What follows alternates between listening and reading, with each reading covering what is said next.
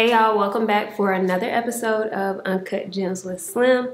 I'm your host, Slim Reshae, and I'm super, super excited that you made it back to the podcast for yet another gem we dropping this week. Y'all know if you listened to last week's episode that we are talking about boundaries. For those who don't know, May is Mental Health Awareness Month, so I wanted to touch on a few like tips and tricks that I've learned along the way that has helped me maintain a good level, a good mental health, I guess, presence. I don't know. My mental health is very stable um, and has pretty much been in a great place. And I feel like boundaries are a big part of that. And so last week we talked about boundaries in the workplace and how you kind of need to put certain boundaries in place to make sure you maintain a certain level of sanity um, or a certain level of peace. And so this week, first of all, where are my mothers at? Happy Mother's Day. Shout out to moms. Um, for those who don't know, one of my life goals is to be a mother. So shout out to y'all because y'all be making some sacrifices. I ain't ready for that yet, but you know, when the Lord bless me, I'm to, you know, make them sacrifices. But anyway, shout out to all the mothers. Shout out to Mama Slim. Shout out to Grandma Slim. Shout out to all my aunts and all my, my grandma. Shout out Grandma Tiny. Shout out all the mamas okay we appreciate y'all what you what you do does not go unseen and for any mother i know some mothers that i know of like they always have this idea that when they make certain decisions, like they don't want to feel like they're being a bad mom. And if you ever have the feeling that like your decision might make you feel like a bad mom, if you're even thinking that, you're already thinking about like trying to be a good mom. So I don't want you to ever feel like you're being a bad mom just because you made a certain decision that your child might not have liked or something like that. Like be confident in how you were raised or how you've grown up to be and be confident that you can be a great mom because you are. Um, so shout out to you. Shout out to all the moms. Happy Mother's Day. Y'all call your mamas. I know some of y'all, y'all don't be calling your mamas often. My mama called me about three times a day. So shout out to Mama Slim. But Anyway, back to the boundaries. Since today is Mother's Day, I figured we should touch on boundaries when it comes to family and family members. And I feel like a lot of times, like we let stuff slide because it's family, especially like if you're doing business with family, it's nine times out of ten you let more stuff slide just because it's a family member um, and today we're here to talk about different boundaries to set up when you're dealing with family.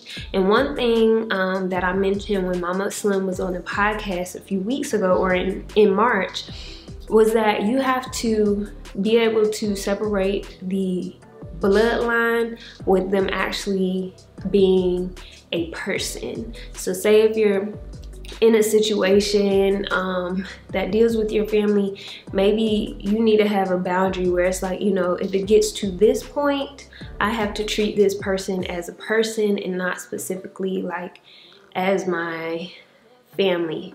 So for example, my sister's a dentist. If y'all didn't know, Thick Lene is a dentist. And like, because of that, people, you know, your distant twice removed cousins will come up and be like, hey, I need you to work on my teeth or whatever, because they trying to get something for the lower, for the frisky.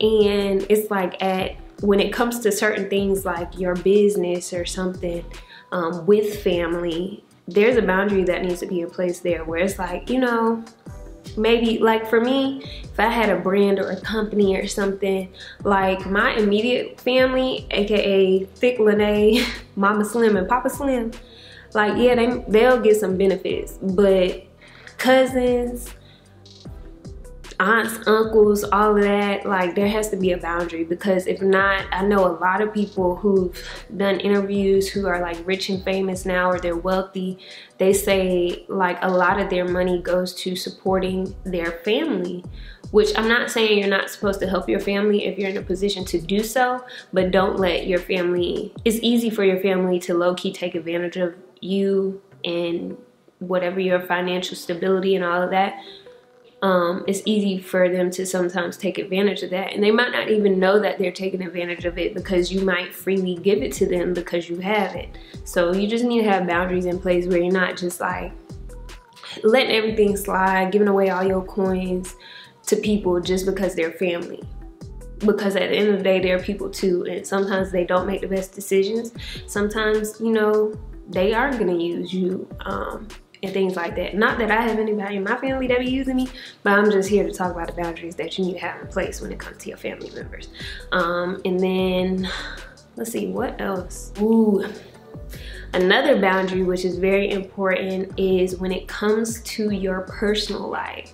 So I feel like um, as an adult woman, um, there's times where I feel like, you know, my mom, she can share something with me as an opinion, but I have to have a boundary up to where like I can hear the opinion, but it's not like everything she says is what I do or everything she says is my opinion because I'm my own person. Um, and so, and I'm not saying that she tries to put her opinions on me, but I'm just using this as an example of where you should have a boundary when it comes to people pouring into your personal life.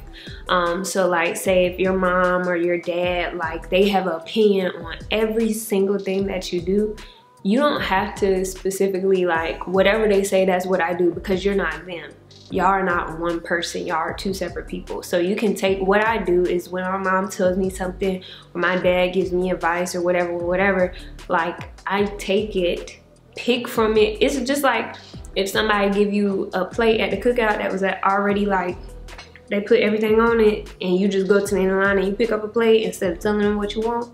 And then when you get down and you sit down to eat your plate you like pick out what you eat like mm, I don't like potato salad but I'm gonna eat this macaroni or I don't like this and I'm gonna eat that. And you pick out the things that you want that's how you need to do when it comes to advice from family members. Pick out the stuff that's applicable to you pick out the stuff that you agree with. And you can also pick out the stuff that kind of challenges your views but it may be relevant. But you don't need to just scarf down the whole plate of food just because it's what they said what they eat is what you eat that's not how it works. So make sure you have a boundary up there. Y'all, I am going off the dome. Y'all know I'll be rambling, but I feel like boundaries are very important and something that's like, like I said, help me have a grip um, and be level-headed. I actually think that wraps it up for um, boundaries for family members. I don't want to take up too much of y'all time today so y'all can hang out, honor, and celebrate your mothers. If you're a mother, chillax, hang out, you know, enjoy yourself and pat yourself on the back, treat yourself. Um, so yeah i hope you guys enjoyed this video. If there's any other specific boundaries you want me to talk about please let me know in the comment section below. If you're listening via podcast shout out to you. Thank you for tuning in um, on all podcast streaming platforms. And if you're watching on youtube shout out to you as well. Make sure you're subscribed Follow us on Instagram at Uncut Gems with Slim. And that's all I got for y'all. I love y'all so very much. And until next week. If you enjoyed today's episode, be sure to subscribe to the podcast and feel free to connect with me on Twitter, Instagram, and YouTube at Slim Reshae. That's S L I M R E S H A E. Links will be listed in the show notes. And until next time, love yourself and be you, Tiffle need to